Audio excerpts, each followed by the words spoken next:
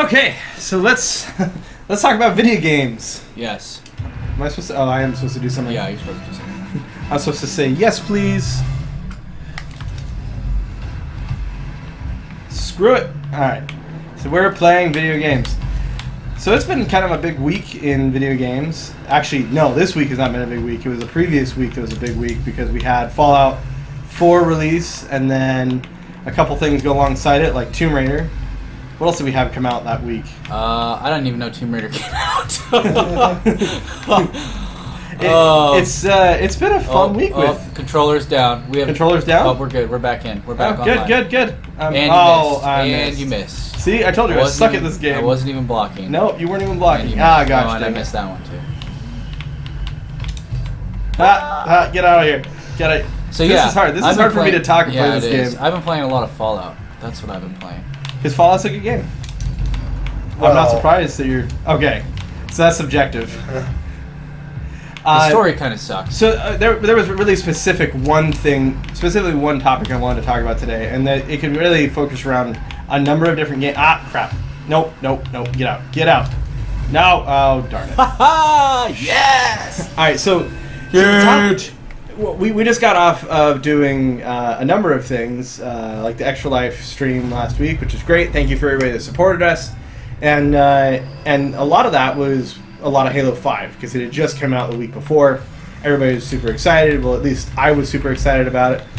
Um, other people had different feelings on Halo Five than I did. It's a good game. It- Don't get me wrong. It's a good game, but from what I expect out of a Halo game, it had flaws. Flaws that I admit uh, I was wrong about. Um, I I was watching Halo with kind of jaded glasses, you know, rose-colored glasses, and not thinking about some core things with the game that I probably should have been before I was willing to, to just give it a pass in terms of gameplay like I did yeah, and and I, I accept that. I accept that I was being too biased, or at least too friendly to three four three. And in hindsight, having played through the campaign day one and and all that jazz with Gian, um, and enjoying doing that, um, and then looking back on doing it, I think I have a better perspective on the game as a whole than I did before. I hate you. Yeah, I, I really hate you. Why are we playing this game? I wanted to play something else. I wanted to play Halo because we were going you to talk guys are terrible at. it. Just because this is the only thing Oh, you I'm play. getting terrible at it now too. No, I do. I haven't played Rocket League. yeah, Yeah, alright, alright, yeah. fine. So maybe that was the wrong defense of my horribleness. Um, gosh dang it, get out of the way. so people can watch us play be horrible at Halo or at Rocket League too.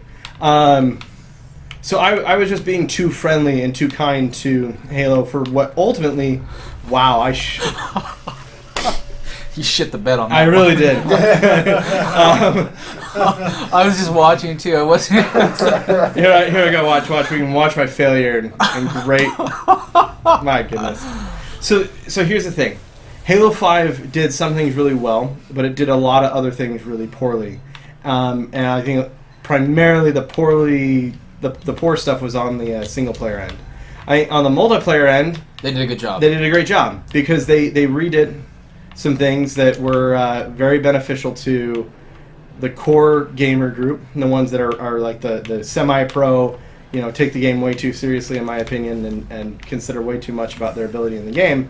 Um, and then the guys that are more casual, like myself, um, they they opened up uh, multiplayer to be friendly to both those player types, in my opinion, because of what they decided to use. I'm hating this split screen thing, um, because of the game types they decided to include in that. Um, but yeah, yeah. Um, that made me forgive them of a lot of things on the campaign side. A lot of stuff that Gian, you were really critical of right off the bat. Um, like the length of, of playtime. How long is the campaign? We beat it in what? Seven hours? I would say not even. I mean, if we if we account for all the, the deaths and the time Yeah. wasting we we jammed in there, I would say four or five. So ha- had we been better at the game, like I'm currently not, uh, had we been better at the game, it would have taken less time than it did. That's probably true. Um, but like, uh, there was a really good point that um, I think uh, Lawrence from Funhaus made. I was listening to one of their podcasts recently, and and he said if you had taken the entire blue team and Team Osiris out of the game, right, uh, just ignored them, and put them in uh, to sleep for the entire game, the result of the end of the game would have been the same.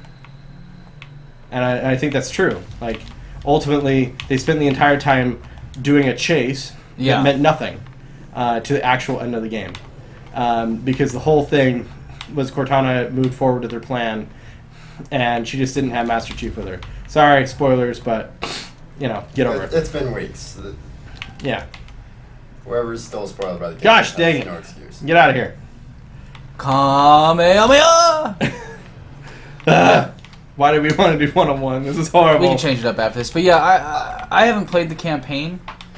Um, I've only read stuff about it because I don't have an Xbox One, Right. And uh, they don't have split screen. But I'm not gonna bitch about that anymore.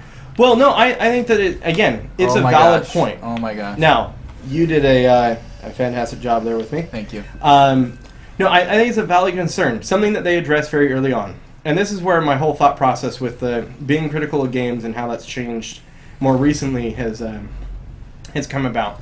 Because I was thinking about it, and um, I noticed, in the, especially in the last cycle of games leading up to this holiday season, um, that a lot of these games, like Fallout and Halo Five and Tomb Raider, and you know uh, you can name off pretty much all of them, they've all been getting generally really good scores from reviewers, from critics.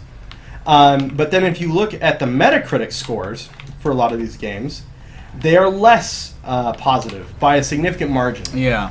the use the, the actual i mean for those who aren't familiar with metacritic that's based a lot on actual players or at least people that that want to comment on it unfortunately you could also go to metacritic and find a large number of the people like They're like this game reviews. Yeah. yeah this game isn't on ps4 therefore i hate it and i'm giving it a zero or i, I pre-ordered this at um, gamestop and they didn't have my copy on day zero so i'm giving the game a zero uh, out of whatever you freaking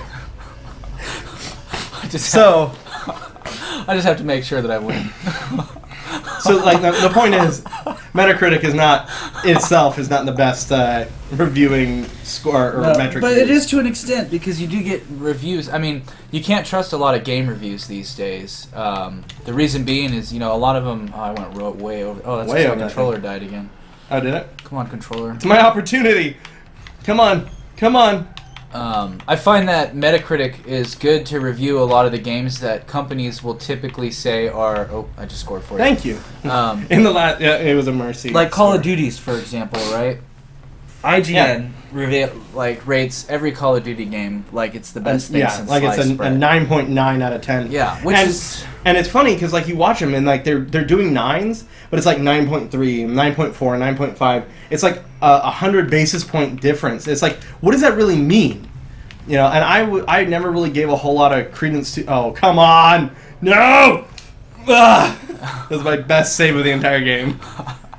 Um, but like you, know what I mean? Like it, gives a they give a lot of, uh, of credence to these number systems um, of what you know a, a game actually did, and the reality is uh, it doesn't really mean anything because it's all that scale's totally warped. You Yeah. know, a nine for one person could be a three for someone else. you know Because I mean? the modified scale, the modern rating scale for games is not five is average. right. It's now eight, Five is a failure. Eight is average, and seven and below is dog turds, and Which which I- should not even bother with. Which this. I don't understand because um, what's crazy to me, thank you.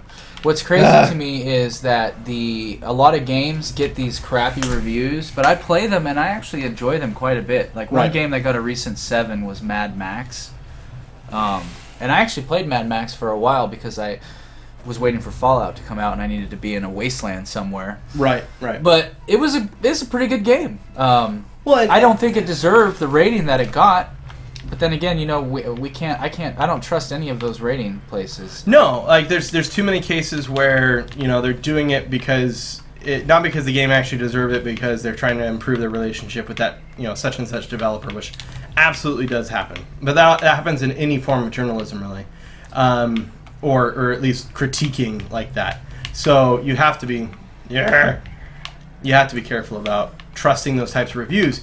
But I, so my question really came from okay, with all of the, with this huge increase in the 9.5s and, and then you know the 9.3s, 9999 from from these professional uh, reviewing sources, um, is that causing actual players to be more critical of games when they come out and and rate them more as a way of offsetting it?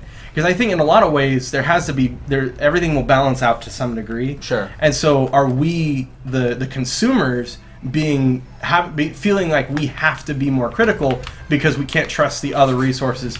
You've got to be kidding me. Uh, we can't trust the other resources to um, be legitimately of value. I mean, does that make sense? Yeah, it does. It ma- it makes sense. We can't. I don't feel like I can trust a lot of the review places, and the same thing goes for movies as well. Sure. Yeah. Absolutely. You know, I find that a lot of movies now get a lot better reviews than they deserve. right. Right. And and a lot of it, you know, it, it could be for a number of different reasons. Ah. I missed. Yeah, you did miss. But I mean, what what do you think, Gian? Do you think that's a valid concern that maybe we're as consumers we're offsetting the the I think baloney reviews, I or is it not that related? as the gaming population matures, we're we're gradually red pilling ourselves to to this review matrix. I mean, I could just sit here and play footy with the ball. Yeah. Let's let's do anything but actually play the game, shall We we? got it. Okay. You got it, Logan. You're good. You're so good. Shut up! I never said I was good at this game. I wanted to play Halo, something I'm relatively better at. Gosh dang it! Get out of here!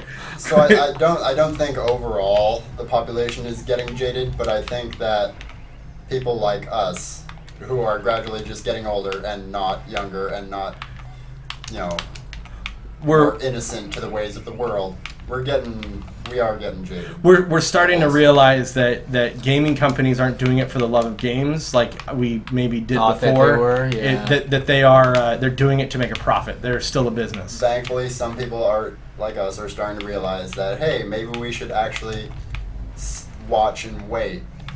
Right, rather than go and after- buy it Yeah, after day the, one. after the game's out, check gameplay. You know, I I like this trend that some companies have, like EA. I can't believe I said that. Of doing their their open betas, but really all they are. is I look just, I like, centered that for you. gameplay previews. Yeah, they Right. really are. They really Right. are. What did you guys get Battlefront? I actually did not get Battlefront I after haven't, bu- I haven't bought it yet either. I, did. and I don't know if I actually will get it. Partially because I am dealing with a serious problem with Fallout. Fallout, yeah. Um, have you have you played Battlefront? yes. Yeah. I mean, I played the beta, but I mean, how? Oh, played the non-beta version. No, I have not, because you know that costs money. Gosh dang it! Oh, tried. I tried. Anyway, Um, how do you like it, Gian? Oh, I haven't I haven't gotten. Oh, to you haven't gotten to play it yet. doesn't- so so none of us has Yeah. actually played anything beyond the beta, so we're probably not qualified to make any sort of No, so we'll commentary. just skip over all. Battlefront. We'll, we'll That- skip over Battlefront, but Fallout. But Fallout, other okay, so hand. we, so we have played Halo Five, and we have played Fallout, and here's here's the thing. I think that um, Fallout was uh, is, is a perfect example of what I'm talking about. That it got crazy good reviewing scored. Why did you just save my own goal? Are you just trying to screw with me now? maybe a little bit. you are a jerk. I hate you. And you don't feel like it, it got what it deserved, basically. Uh, I think it got way better than what it deserved, in, in some ways. Um, What's that? I think that, I think that Fallout got better scores than what it actually deserved. Uh, I still think that Fallout is a really fun game. Um, I think that there are. It is a game that I shouldn't have bought because it sucks away too much of my life that I already don't have enough time to do things with. Um, but I still think it's a fun game. Is it as good as it probably should be to get the the 9.5s? No. And and my first thought was, well, okay, let, let me compare it to the other game I was really excited about, Halo 5, and let's let's see how I feel about it. And I realized I can't do that because the games are too drastically different in terms of what they are as a game. Now you're just being a jerk. Now you're just trying to get me to not touch the ball. Stop it. Um, so Yeah, I'd have to agree. I mean, what did Halo get on the reviews? Oh, it, it got nines. It, you know, high, mid to, to high nine. Gosh dang it! Just give me the one. I had you it. I, you got a point. I kept You it on. one. I kept it on goal on my own. Um, but yeah, it, it got good reviews. But like people were very critical of a couple of different things, like the fact that it didn't have um, split screen, which I understand uh, from both perspectives. I understand why the developer didn't put it in there. I also understand why you know a lot of us are bent out of shape by it. I don't Um, understand why the developer didn't well, put it in it- there. They said it was 60 frames, but And and to their credit, the game is generally maintaining a solid 60 with a few cases where the resolution does drop for various reasons or um, certain textures disappear. And and while I wish that wasn't that didn't happen overall, the the gameplay itself is really fun. Like it deli- like especially multiplayer, the smoothness of, of controlling the game felt like Halo 2, which is I think a lot of people hold Halo 2 as the standard for top Halo Nice. gameplay is, is Halo 2. there you go. Um, well, look at that. Luck. Um, anyway, so so yeah, I, I think that there's a lot of things that it did really well. Um, but again, I still don't believe that it deserved the nines that it got, probably, um, because of what it did with the campaign. So quit being such a. I wanted to tap it out, but I can't. I couldn't get around it enough. Um, anyway, so um, yeah, I- just don't think it deserved that. And people bagged and, and hit really hard on a couple things like the campaign and how weak the campaign was. And and uh, in hindsight, well, that was fun. Uh, I would agree. I think that the campaign had some serious flaws. I'm Um, sorry. I'm sorry. you were trying to have a serious discussion. it's it's so hard to like get a point across. I'm just fucking with and, you. and then trying to. Oh shit! I just lost my. Oh, hey, look at that! It's my time! It's my time! 20 Uh, seconds. I've got 20 seconds to. You got this. 20 seconds to score Uh, and it won't let me. six goals. Let me put your controller back in. Um, so yeah, back to back to what I felt was a relevant point. Um, there there were some things that I was being really uh, biased on and, and not really considering. Yeah, the campaign and the story there was pretty weak.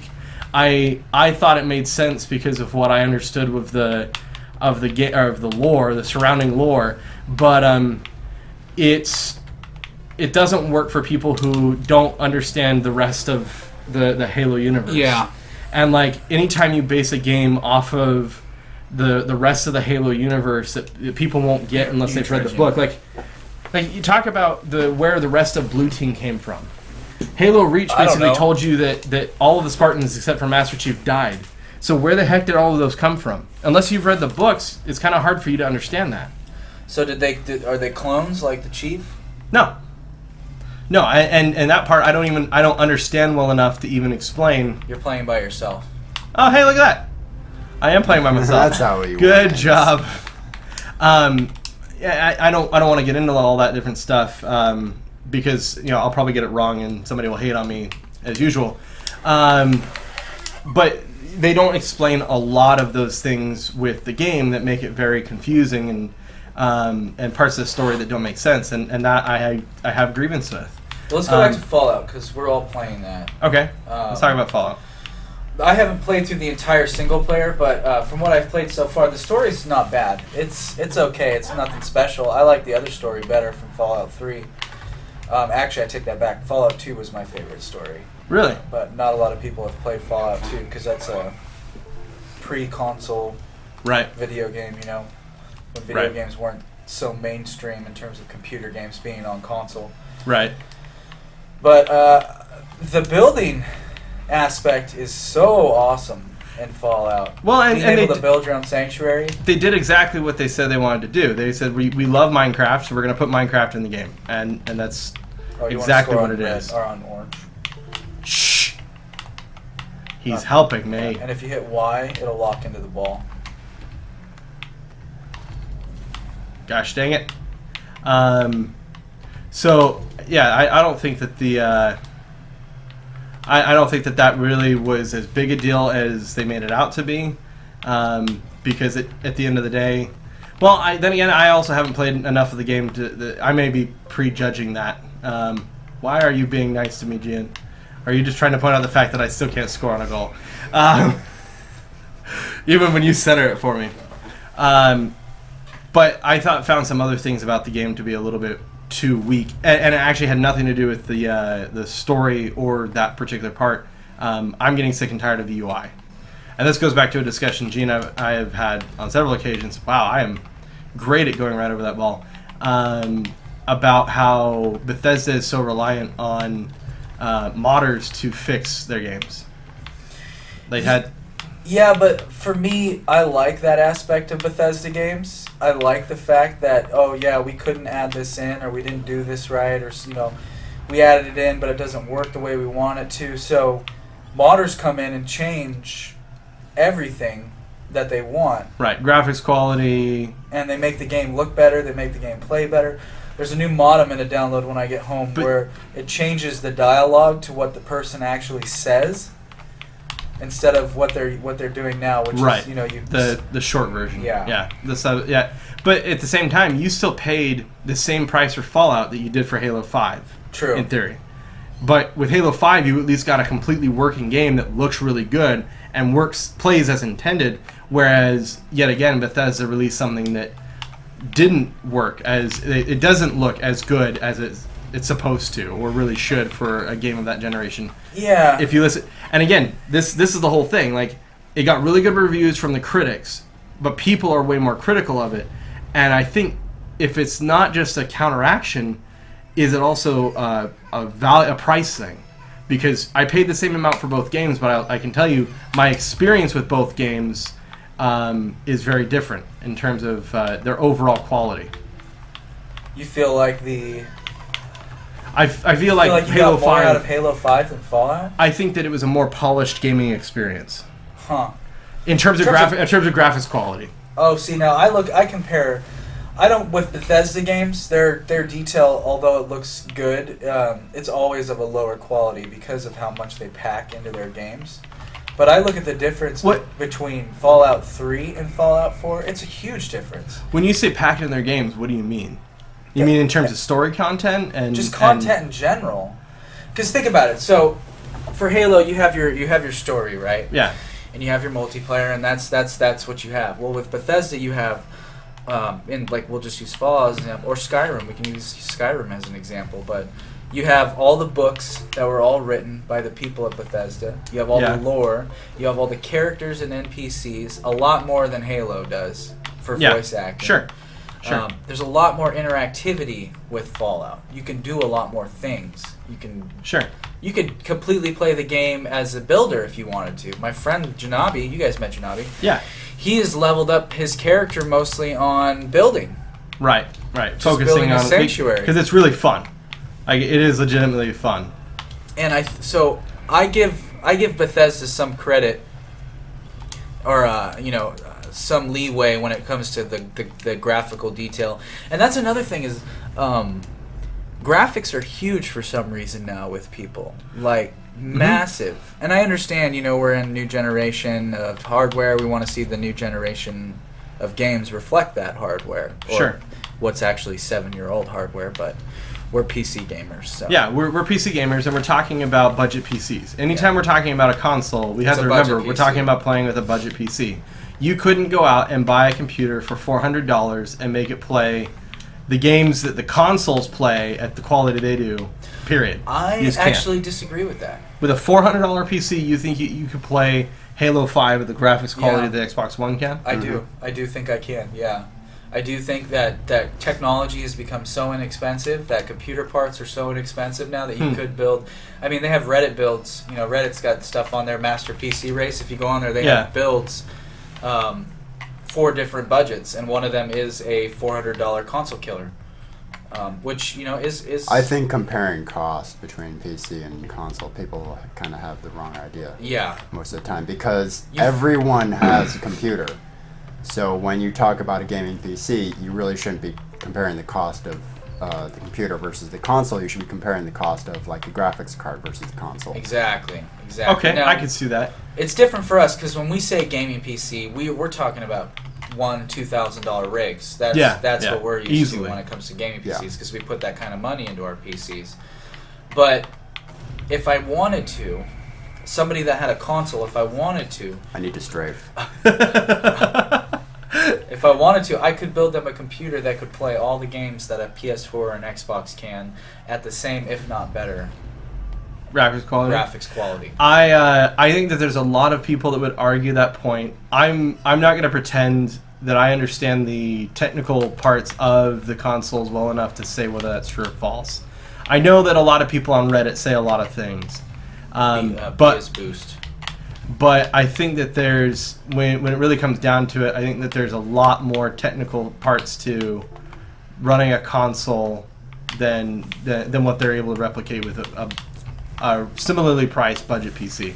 And that's But- the thing that pissed me off about Xbox was they put you know power into their console, but then they took half of it away to dedicate To- to, a to user interface Right. and to do other things that I could care less about doing And, on my Xbox. and we're saying this before I've had a chance to update my UI to the new Xbox One. oh, you haven't. I, I haven't done it yet. When does that come out? It's already out. So do you Um, have to update to the new UI? Nope, it hasn't prompted me to, so you know, I'm gonna say no. It, it, it doesn't require me to do that yet. Um, but it would probably be good if I did. Um, come on, come on. Oh, darn it. Would have been great if I had a buddy there to put it in for me. Um, anyway, the ooh, that was kind of cool. That those walls, those wall hits gone. Um, all of that aside, I think that there, there's an even greater point, though. And when we talk about why we're so concerned about quality, is because when we're we we are getting to the point where we're having being told why we have to pay, ouch, more and more money for these games. Um, we're paying sixty dollars retail now, Plus and fifty for the season pass. well, and and that's the thing. Like we haven't seen um, a huge increase in the price of the base game um, in almost ten years.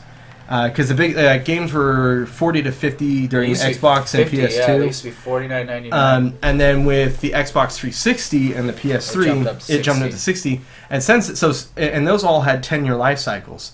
So between then and now, um, there hasn't been an increase in the base game price. But what we have seen with the introduction of DLC is, uh, or at least paid DLC, because we've always had DLC to an extent. yeah, we always just- well they used to be called expansion packs. Right. Yeah. And and many of them were free. They were not something that you had to pay on top of the game you already have uh, purchased at this yeah. point. But the ones that we did pay for were justified. I mean, it was like, for example, the what's the first expansion pack you remember? Uh, probably, um, probably would have been for one of the Command and Conquer games. Yeah, mine was Brood War Yeah. for StarCraft, Uh, yeah, probably. Actually, you're right. Yeah, it's Um, Brood War. and it was an ex- it wasn't a full expansion. It gave you Right. so much like additional huge amount of content. and, and Yeah. a whole Three- new campaign. Three campaigns. And yeah, so it, it basically could have been a standalone game, Yeah. all on its own. same thing goes for the Rockstar DLC that Rockstar comes out with. Right. Rockstar always comes out with kick-ass DLC.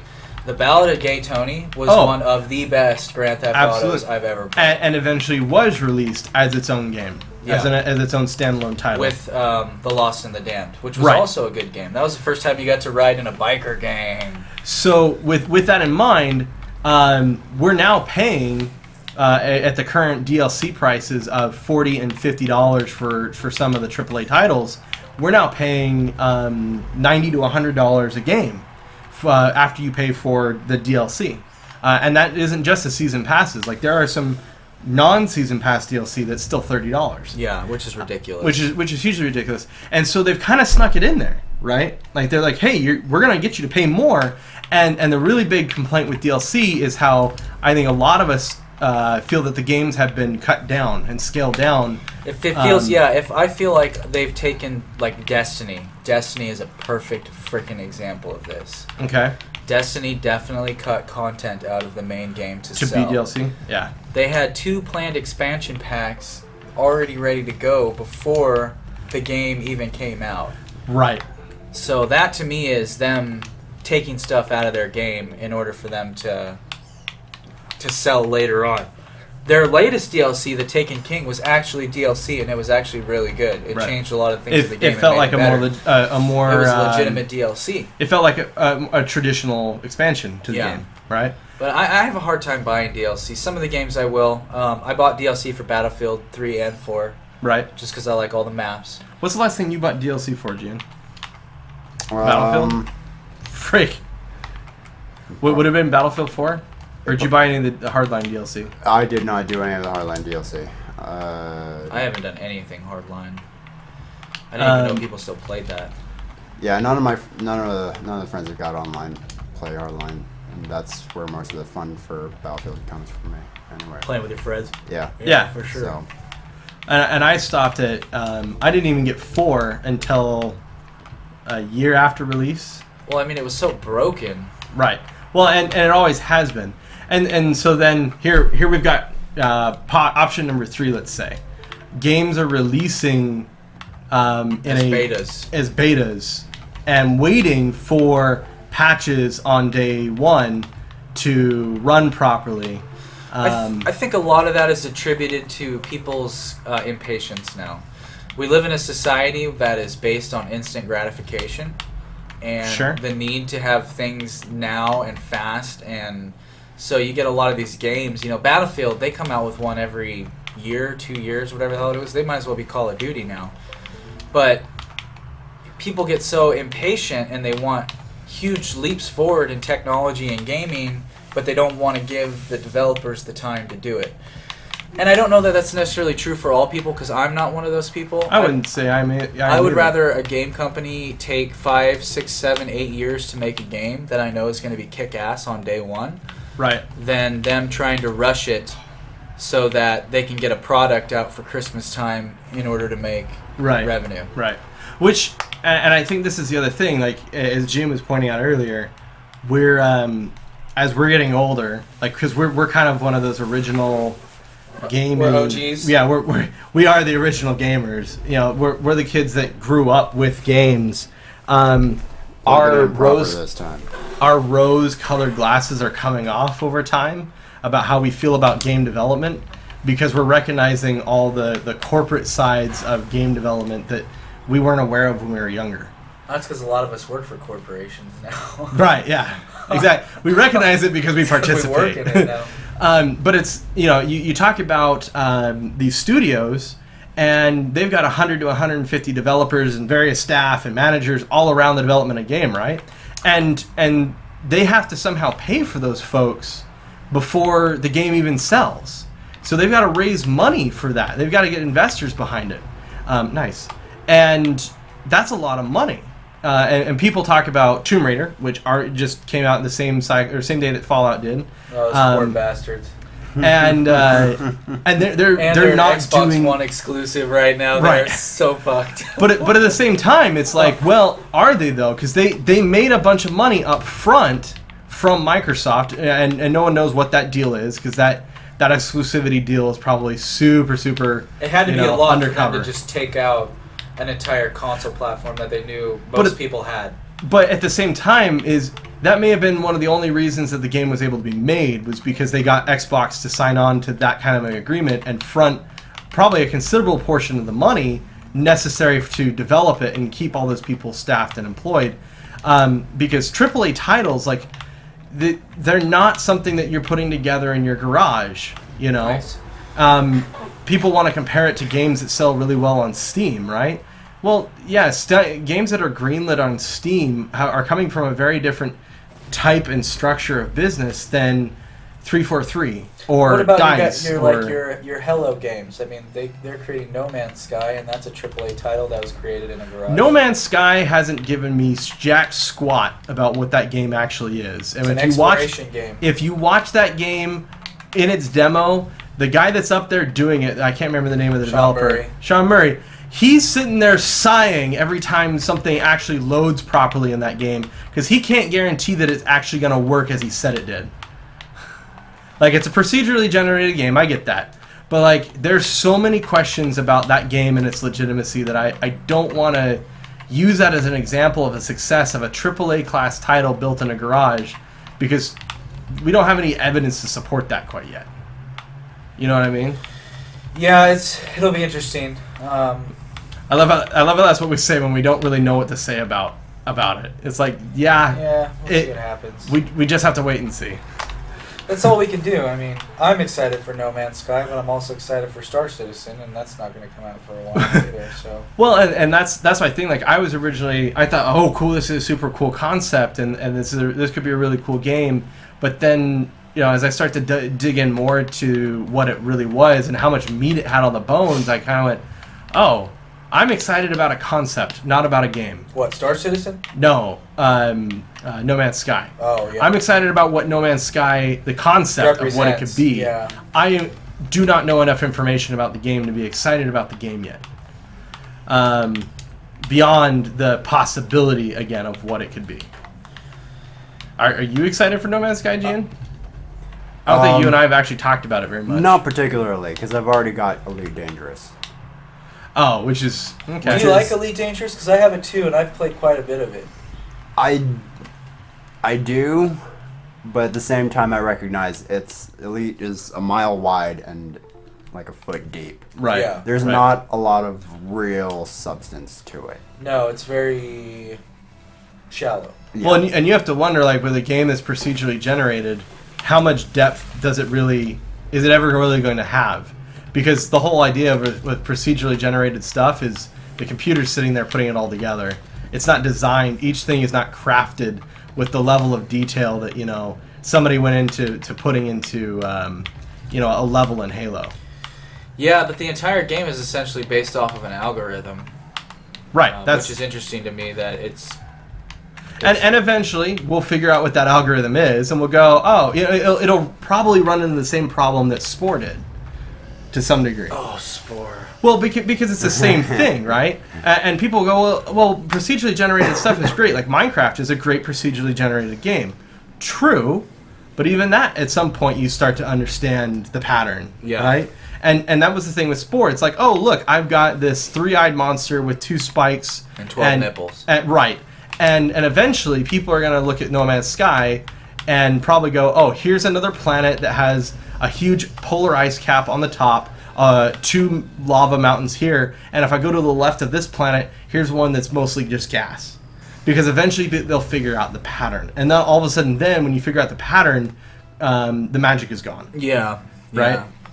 Um, but again, does the price justify what you get out of it? I think honestly, as as uh, even though I'm maybe a little bit more critical of Fallout, um, I've probably enjoyed Fallout now more than I did playing through Halo 5's campaign. You've And- gotten more money. You gotten your money's worth. I've out got I played a heck of a at lot least more single so player, far. but Fallout doesn't have a multiplayer component, which right, I think would be awesome if they could figure out a way to make it so I could run around in my, my buddy's wasteland with. it. mod that. Why don't you? I don't. How, how would you do that? How would you do VATS and stuff? You can't. You can't. You'd mean- have to take VATS out. Someone actually tried it with Fallout 3, and it was horrendously glitchy, but they actually managed to do it. With VATS, or they took VATS out. So we were well, thinking. no, there was. I I'm not sure about. I think VATS was one of the was one of the issues. We were thinking about it. A good way to do VATS would be um, like, let's say a guy locks into a, an enemy, right? Right. In VATS, well, it highlights that enemy and slows only him down, so the regular game is still going at full speed. Okay. Um, so he's locked into that guy, so he can't be attacked by it. Well, no, I guess that wouldn't work. now Yeah, I was gonna say loud. how how does PvP work then? that wouldn't work. I don't know. I think it would be cool though if they could figure out a way to do multiplayer. It would. If you well, just take out VATS. Take out VATS. Yeah. Honestly, I've played through ninety percent of the game without actually using VATS because, you know, it just it was unfamiliar to me and I didn't feel like I needed it. Um, especially when I started playing on a more realistic screen because I start I played the first seven hours of the, of the game on a uh, 65 inch television, That's which what I, that's what I'm doing. what, is it? Did, are you having as hard a time with that as I am adjusting Well- to the scale of what No, not movement necessarily the scale so much. Uh, well, because I sit pretty pretty far back. So Oh, okay. um, it's not so much the scale as it is is learning. Dude, Gian is kicking your ass, as it is to. Well, he's learning, and uh, I'm not. Is using the controller instead of a mouse and keyboard. Oh yeah, I, I can understand that. I actually was tempted to plug the controller in it several times. Um, The controller keeps going out in the middle. is it really? yeah. Yeah. That that is so bad. Yeah, I think most of your points you've actually scored when Gian doesn't have a controller that's functional. All right. But yeah, I, uh, I I really like Fallout. I feel like I got my money's worth out of it. And honestly, if I had bought an Xbox to get Halo Five, I honestly would have felt a little ripped off. yeah, I can understand that. But you know, Ex- it's three hundred bucks on Black Friday, so I might get an Xbox. But but again, we're talking about the the single player, whereas multiplayer I think really does shine That's the and, selling and point. sells yeah, the game. and, and at which point I'm like, okay, I'm actually kind of a little bit happy about the game itself because I, en- I really enjoy multiplayer. I really enjoy the REQ system. As strange as that is, Warzone is fantastic. and, and arena is so much fun because it's it gives you everything that you need. The pro people they can go play arena. The really high csgo type combat. And the people that just want to screw around and have fun could die a million times and you'd never know it. That's that's totally warzone. You know go go mess around in, in that whole arena and it's it's a lot of fun. So i think that they got that part right. Um, ouch uh, i think that they epically uh, disappointed in terms of the campaign and yeah, the because story that's, that's one of the biggest selling points with Halo is the story. Right. Um, and story is such a huge factor for Halo games because people. I grew up with the Master Chief. You know, right Master Chief's been a part of my life for years, and to see him not get the justice that he that he deserves. Well, this is the thing, and, and in some ways, I think we've grown accustomed to it and are very forgiving of it. But the marketing plain out lied for the game. Like they, they sold us on a story that did not happen, didn't happen. Yeah. ever. Like, Oh, at we're no gonna- point, We gotta hunt down the chief. right? Mm-hmm. There was one combat sequence. If you at some point had actually gone head to head and fought another, the whole Team Osiris versus Or if Blue you Team, fought the chief, like if you had to fight the Master Chief as a boss, right? that would have been sick. Right. And I think that would have sold the whole combat thing, but the fact that it was all played out in a um, in a cutscene that was that felt so shallow. I mean, I, I remember sitting there watching though and still going, "Oh yeah, woo, Master Chief!" You know, kick Team Osiris's butt because you know you don't like Locke and you hate the fact that you're having to beat him. Um, you know, there's that part of it that I enjoyed at the time, but in hindsight, I'm far more critical of it and what that really meant for the, the game because, like my point earlier, you take all of that stuff out, the end of the game is the same no matter what. You could have not played the game, the story would have played out the exact same way. Nothing That's Team what I like about Osiris. Fallout. Is uh, It's I- not dependent on that? You're not dependent on playing one storyline. You have to play the main storyline, sure, to pro- to progress the game, or you could not play the main storyline at all if you didn't want to. right. You can do whatever you want in Fallout. That's true. And they changed the, the, the first person element, the gunplay, which uh, it, it feels sharper, tighter. I don't know how to describe it. It's more like Destiny and Halo, less like Fallout. It, it does feel like a more polished shooter. It seems like they spent more time figuring out how to make Fallout a really good shooter or a, or a decent first person shooter than they did improving graphics quality and yeah. other parts of the gameplay. And again, like, you know, your inventory. is an issue. I think uh, the game is beautiful. I think they did Um, a great job. I think that it, it for what it was for the generation of game that it's in, it could have been so much better. You mean detail wise? Yeah.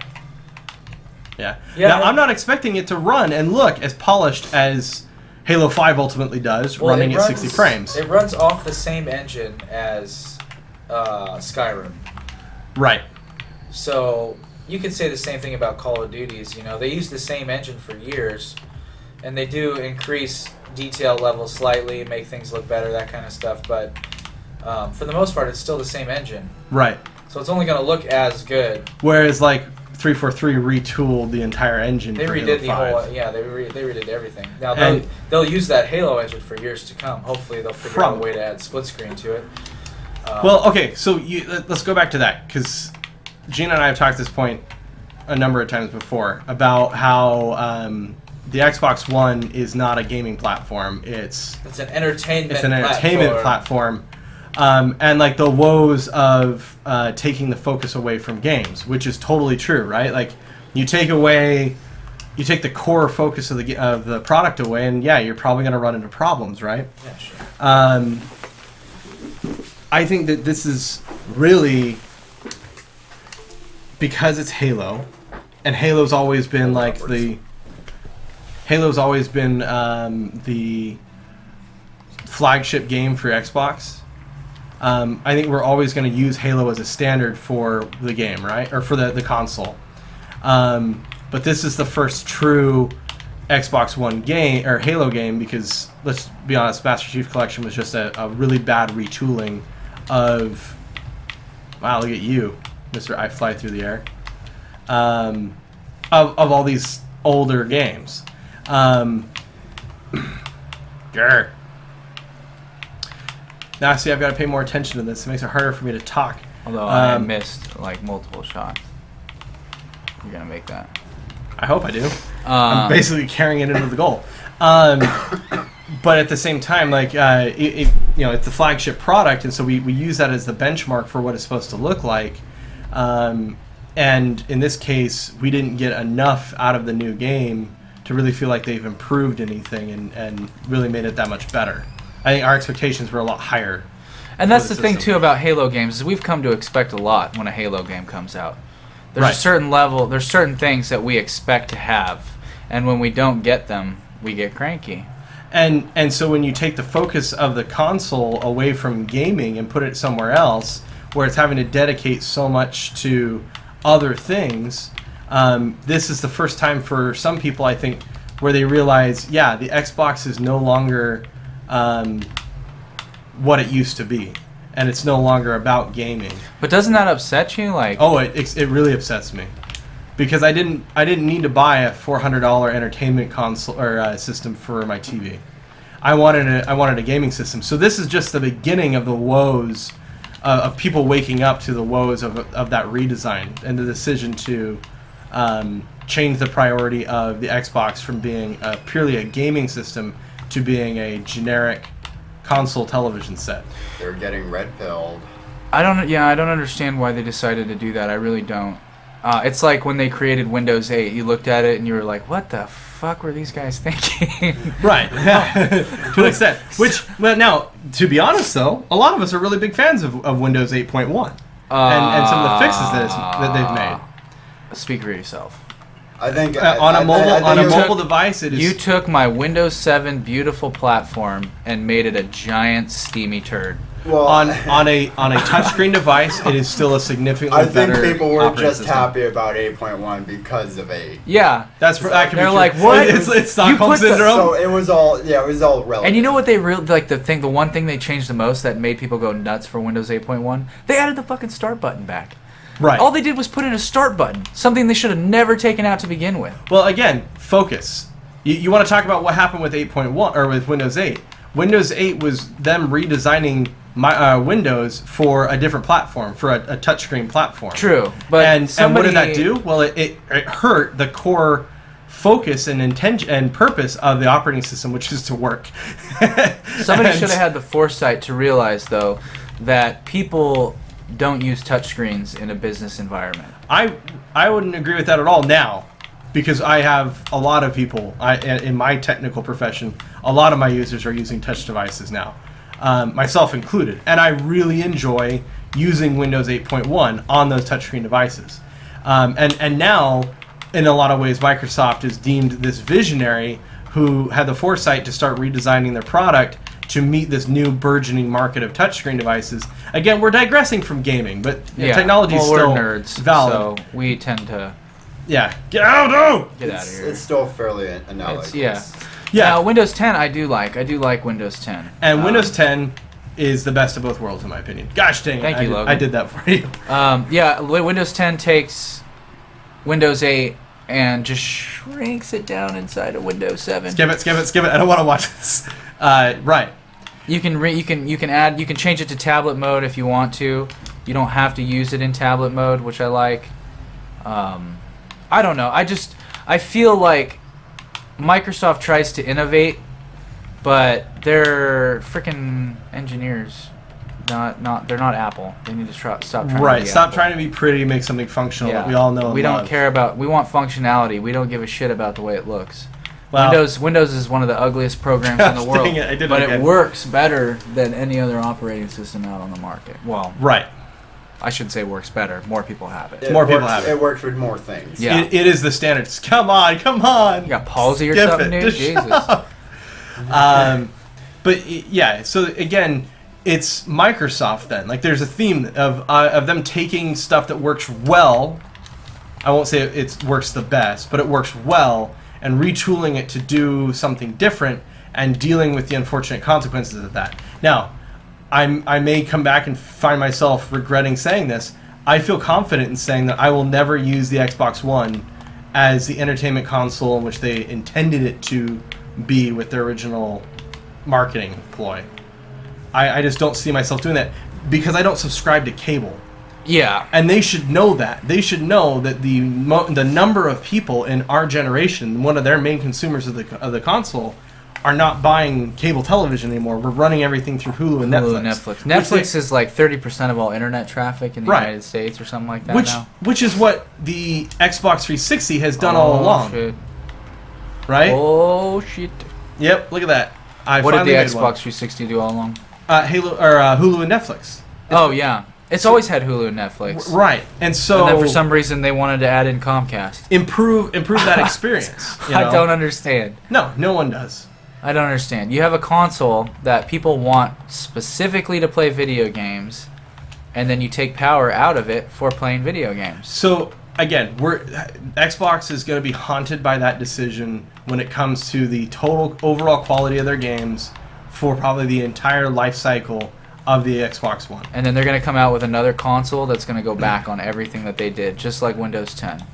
Probably, you know, they, they probably will have uh, a period of time where they And this could tie into you know what we expect from games. This is what we expect from operating systems. This is Right. this is the kind of stuff we expect. We expect when we pick up Windows that it looks like Windows. right and isn't something completely Yeah, different. not not a user interface designed by a third grader. Now the um, but going going back to games for a second though, and the the cost and the whole DLC thing, because I think we kind of we glossed over it in some ways. Do you feel like you're honestly getting a hundred dollars worth of game? W- certain games, yes, like The Witcher. I feel like I'm getting my money's worth um, Because when you I buy put the how DLC. many hours into The Witcher? well, not only that, The Witcher's DLC added another 10 hours of content. Well, uh, right. That's a huge chunk of content, and um, and That's it, longer than some full length. that's longer than some full length. Halo yeah. Five. Yeah. Shit, I'm so terrible right now. I haven't played. Whatever. This is fantastic for me. Um, I'm slowly getting better by your weakness. Your weakness is my strength. When I feel like uh, it's again, it's it comes down to if I feel like a company has taken stuff out of their games to I don't know what to sell or package later, Right. that bothers me. Right. And I- maybe and- they didn't, you know, maybe the uh, CD Projekt Red did make all this content before, and they are packaging it later. But that means they made like a seventy-hour game because Right. the original Witcher Three game is thirty hours, forty hours of story content. Right. It's huge, right. huge. It is I got, absolutely. I got more out of it than that. Yeah, I've got yeah. I've got a week's worth. Well, Yeah, and, and honestly, I expect to get a lot of time out of Fallout, even though I think I've that, gotten so much time out of Fallout already. even though I think that it is a horrible mistake, life choice on my dis- on my part to do that. Um, and so I, I feel like it probably has the most dollar to hour value um, of any game that I've God, we're played such this freaking year. adults now. The I- dollar, to, I know. the dollar to But- minute value. But see, here's the thing. Okay, so the, the, and that goes to another thing. We're paying for our own games. We're paying for our own entertainment now. We're not really getting them for Christmas anymore. Yeah, we buy we're, everything. We're not getting them for our birthdays. Our parents don't want to feed this addiction we have anymore. You know, now it went from being, oh, it's cute that he plays Mario to be like, is he really playing Mario? It's more of an embarrassment than anything it's else. two o'clock in the morning. Why aren't you in bed yet? But um, Why aren't you employed? so I, I don't, I don't think You've that, never um, had a girlfriend. You've never had a job or a girlfriend. I don't think that it's, it, You're still living in my house. it's kind of like the same thing where like you buy your own stuff and you care that much more about it. You know that that old principle of you make a kid pay for their own stuff and they'll take better care of it. Oh, you know, yeah. You make a kid pay for their own games and they care about what it feels like that much more. Plus, they, Um, they, they understand the, the value of a dollar. When Right. They don't when they can't Great. spend, you know, because we can spend. I can spend. Well, A I ton of shouldn't money. spend, but yeah we shouldn't, but we I do. shouldn't. But I do. I buy a lot of games, uh, and I buy a lot of board games, and Right. I get my money's worth out of them. I feel like I'm getting my money's worth. Maybe not all of them. I look at my Steam account and see what I've not played and spent money on. Curse but- you, uh, Steam Summer Sale. Which the winter sale's coming up, so No, no. Steam's about to. Uh, Gabe Newell's about to. Make a whole lot more money. Yeah, open his donation tray. Lord Gaben. All hail Lord Gaben. Oh hell. Ah, no! Gosh dang it! Why am I so bad at this game? Um. Oh, you suck. Anyway, so yeah, yeah I, I don't think that we are at a point where we justify a hundred dollars for a game, especially when we're feeling like we're getting so much less out of the core game, and um, and yeah, I, I get it. Like you know, game development has blown up, and we have way more developers than we ever did in, in any other point of history, and they're huge by comparison. Um, it doesn't mean it doesn't justify making a crappy product, you know, and we may be more critical because of that because we're, we have gotten we feel like we've been abused by developers Yeah, more like. like uh, we're being taken advantage of But are we? Because I mean, think about it. Like movies. Let's we'll just use this. This is always an example that gets Sure. used. A movie costs you 20, 20, 25 bucks for you to take your, you know, your You your- your you and your- significant other. yeah And a game is sixty. Well, your movie's gonna last. I don't. Whee! Know, I don't know what the hell you're doing. i don't know what i just Um, did a movie's what two, three hours. So you're for Yeah. twenty five bucks, you're getting three hours of entertainment. That's half the price of a game. or in the case of the latest james bond movie seven minutes of entertainment and two and a half hours of daniel craig being daniel craig Yeah. Um, so, but still, it's three, two to three hours of entertainment for twenty five bucks. right So technically, we are getting that we're getting that value out of the game in terms uh, the monetary value, um, the time played. Well, at least if you play the game, I don't know if you're gonna play the game or not. But if Right, buy but- a game and don't play it, I don't know what the hell you're buying it for unless it's on the Steam sale. Says, yeah exactly i was gonna say ex- excluding whatever you buy the Yeah. steam well, sale. Steam sales don't count because when they they're like, oh yeah, this game's only a dollar. Of course, I'm gonna buy 12 copies of it for all my friends. You know what I mean? who's never gonna play it Who's never gonna play it? None know, of us are ever gonna play it. none of us would ever have done that as a way of creating content for their Um, youtube channel um, Yeah. what uh, Or you know, they make uh, Steam sales make good Christmas presents for your nerd friends. They do. You know, here's a game. I like my friends, but I don't like them that much. you're that you're worth a dollar to five dollars. much. Your Christmas present's worth a dollar to five dollars to me. I'm all about the 35 Oh, I just might have games on. for you. Uh, no, you didn't. I wish you had. Um, that's why I love like the 25 and 35 cent games on Steam, because some of them are just hilariously horrible. I'm just gonna sit here and do donuts. How about that? I want to. You can do it. You can beat me. Um, anyway, so is that justified? And is is that really the main reason why we're so extra critical? I don't I don't think that it is. I I'm not saying I'm qualified enough to understand and know. Um, I'm trying to walk. you're a bad person. Logan's here playing Rocket League. He's playing flop. Yeah, you're playing flop. I don't, i- i- is there anything that I'm missing outside of those three main ideas? I don't think so. I mean, we've been rambling for a while now. We have been. If we're rambling, it's probably time for us to stop. It's probably stop, time for me to stop getting my butt handed to you by. Next time we'll play game. Halo, and you guys can own me. Um, but i- anyway, uh, yeah, I think that's current all- landscape market, in summary, or current gamer landscape, I think we are too impatient. We require too much. You know. Summarize this better. Oh shit! Hang on. Sorry, I'm trying to do an aerial here. No, I missed. Um, you talk. I gamers win. gamers are impatient. We want games faster, and we want the quality to be higher. okay. So you can't have the best of both. You can't have both worlds. If you want a game to be quality, you need to be willing to let it play Wait, out in terms of dev time. Yeah, it needs. right. It's like chili. Um, the longer you give it, the better it tastes. And honestly, I don't agree all the time with. I mean, I like the idea of betas, but I don't want betas sometimes. I want to be Right. surprised how I feel about a game. You know, it would have been cool if Battlefront didn't have a beta. More people probably would have bought it. Really, you um, think so? Yeah, I do. You think the beta ended up hurting them I more think than it it helped did. them? I think it did hurt them because guys like myself who played Battlefield, who want uh, a certain level of Gameplay. customiza- you know, customization and Right. gameplay and depth, um, saw that we weren't getting that in Battlefront. Battlefront's a great game from Even- what I've played. Don't even after wrong. even after you saw all the customization things that they've added, you still think that you're not you wouldn't be getting your your money's no, worth in no, customization. not like Battlefield. And again, there's certain things you know that that um, I have a problem with. Again, I don't own Battlefront yet. I have played it because I did play in the beta. But uh, one of the big things for me was like I loved going into a map and seeing all the vehicles laid out, and I could just run up to a vehicle and get in a Tie Fighter and take off, and then I could take off into space, or I could go do strafing runs. You know what I mean? Now it's like a power up that you hit, you pick up on the ground. There's no Right. weapon. There's no vehicles on the map at all. It's just I, I don't know. It doesn't feel like I don't know. The AT-ATs are there, there. Yeah, but still, you know, it's it's You know what I mean, And though, it is right? kind of left up to chance with that. Yeah. Because I mean, you've got 20 people on a team. Power up pops up somewhere on the map. You don't know exactly where. So I, it's again, it's just gamers are impatient. We want more. We want it faster, and we want it of a higher quality. Right.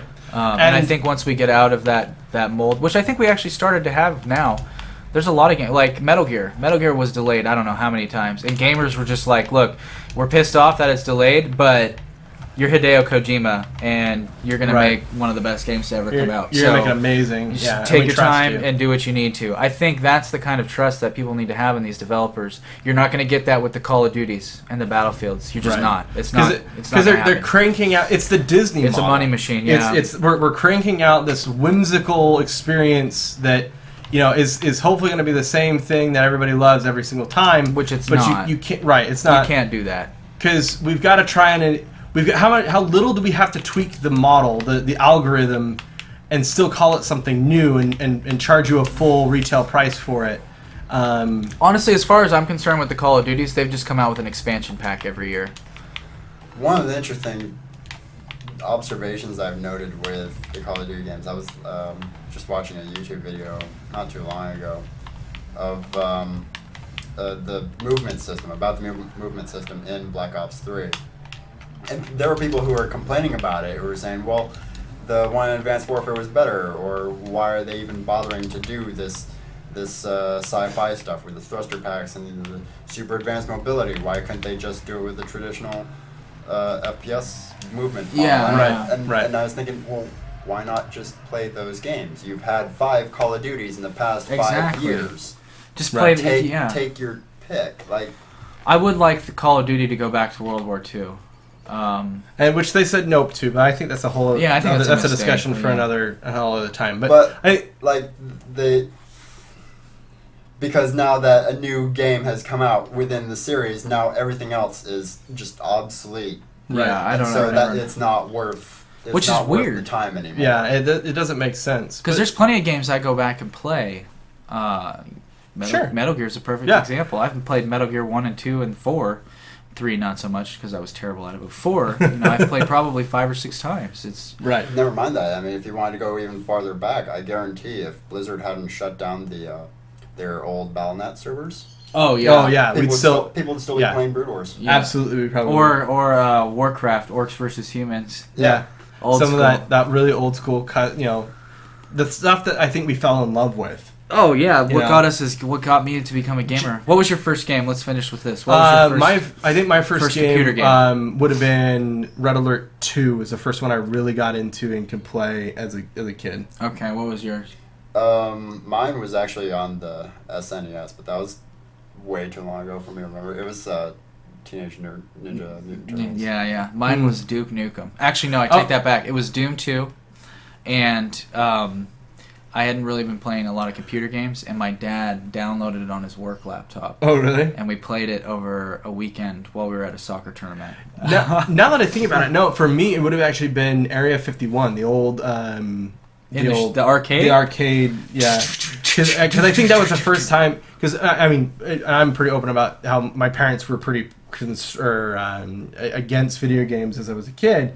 But like you know, you go certain places and you- you're exposed. you have an arcade. There's nothing Yeah. you're gonna do to stop. And it, so yeah. I I would actually say yeah, it was Area 51 and um, and uh, Time or Crisis that Time Crisis, Yeah. where the gun moved. and so and those got into it and then i think the first game that i really got into at home would have been the red alert series and i i got into it right at the point where red alert 2 was or red alert was out and red alert 2 is the new latest and greatest and Yeah. that's the one that i think i really got into you know But I think that's the one that got a lot of people. Tesla coils. oh yeah or, or, you know but but you and this really goes back not to drag us back into the discussion because i know we're trying to clear it out but like we talked about expansions we talked about how many different countries could you play as in red alert 2 Oh yeah. And if you played the game now, they would release U.S., China, and one other, more like similar to the the generals. I like the side. generals. I, I did too, but like in terms of the I like the limiting shoes. limiting the countries, you know, because each one had their own specialty thing, which was so cool and so simple to implement. But each one of those other countries, probably a set of like five, Yeah. would have been uh, another twenty dollar expansion to play them, and then play another, you know, 15 maps, and you, you imagine, you know, we created those maps because it came with the editor. You know, that's how what that would look like today in a lot of ways. Anyway, it's it's plenty for people to go and, and figure out on their own and, and really decide. But I think it's unfortunate that we are, we as consumers, I think, are being pushed for We're a number of impatient. reasons. We're too impatient. We really are. It's what it comes down to. People are too impatient now. We've gotten things. Eh, we've gotten instant gratification for for everything in America. Whether you want food, Yeah. hell, you can go on Amazon and order something. It'll be here in an hour. Yeah, that's You true. know what I mean? We thrive on now. Yeah. Give it to me now. Yeah. Um, and, but I also think to a degree, this is the result of, of choices that the industry is making, Oh, and, yeah. and that we're kind of being pushed into it. that's why I like companies that go against the grain.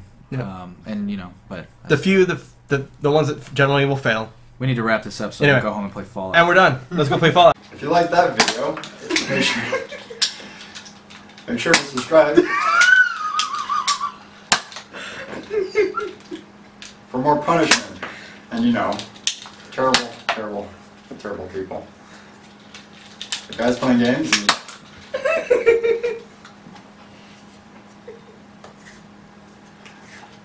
I don't know what you want! I don't know what you want!